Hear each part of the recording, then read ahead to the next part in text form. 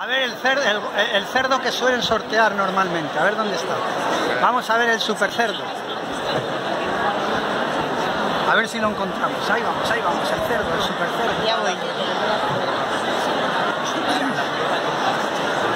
Está bien gordo, ¿verdad? Están de sus...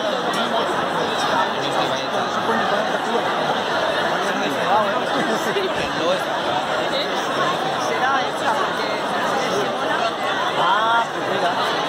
hacerle una foto al cerdo grande, famoso. No se sabrá cuánto pesará, ¿verdad? Eh, 300 kilos. Ah, sí. Oh, mira, eso pesa el cerdo. ¿eh?